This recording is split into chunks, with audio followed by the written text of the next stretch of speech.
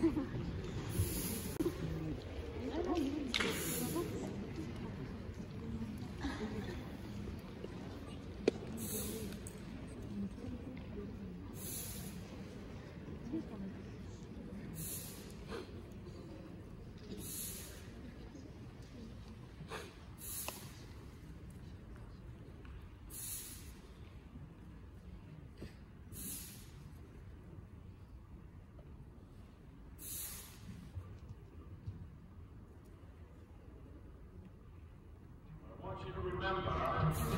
that though Punk Bastard ever got a gnarly piece of Wu-Tang by being sensitive and considerate.